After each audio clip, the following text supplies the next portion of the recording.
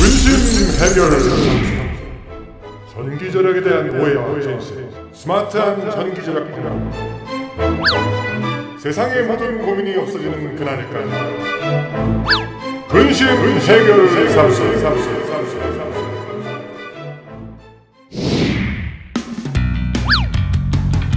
고민이 있는 곳에 우리가 있다.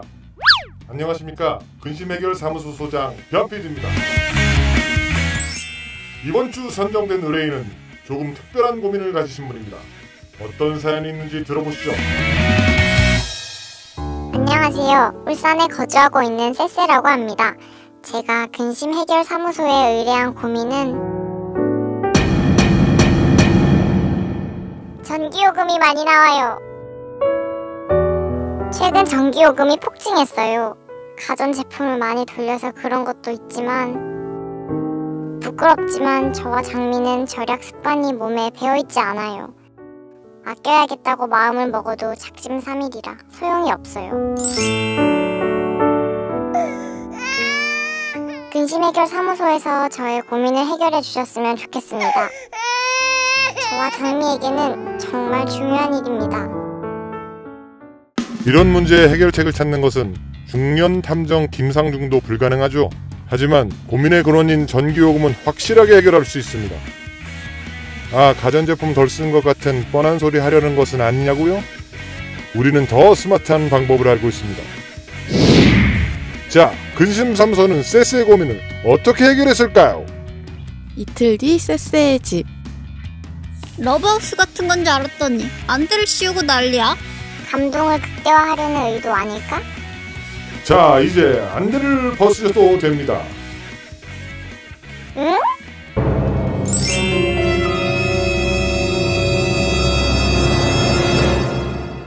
여기서 잠깐.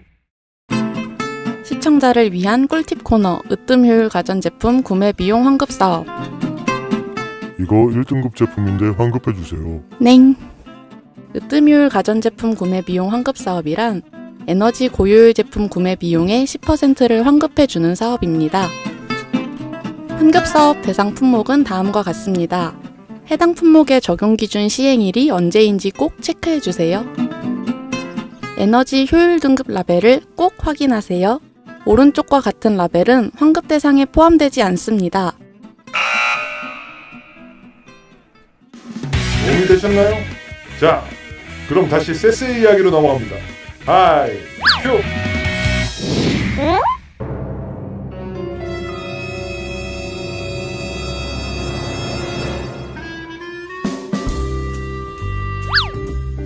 지- 집이 달라졌잖아. 에너지 효율 등급이 낮은 가전제품만 널려있던 세세의 집. 모두 1등급 제품으로 대변신. 침침하고 전기 소비 효율도 좋지 않던 형광등. 모두 LED 조명으로 교체. 덩굴처럼 엉켜있어 뽑기 귀찮았던 세세의 플러그. 앱으로 on off 가능한 스마트 플러그로 교체.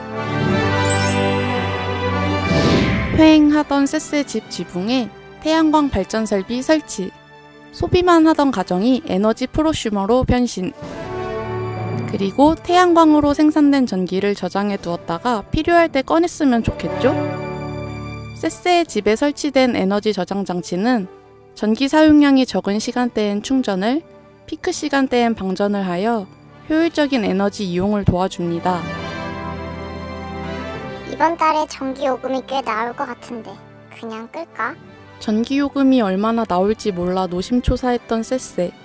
이제는 에너지 관리 시스템을 통해 실시간으로 전기 사용량을 체크하고 관리할 수 있습니다. 한 말씀 부탁드립니다. 소감이 어떠신가요? 대박이네. 이제 발 뻗고 편하게 잠들 수 있을 것 같습니다. 이 정도면 나 같은 기차니스트도 쉽게 에너지를 절약할 수 있겠네? 두 분의 반응을 보니 오늘도 의뢰인의 고민을 해결하는 데 성공한 것 같군요. 세상의 모든 고민이 없어지는 그날까지. 자, 다 같이 고민 해결!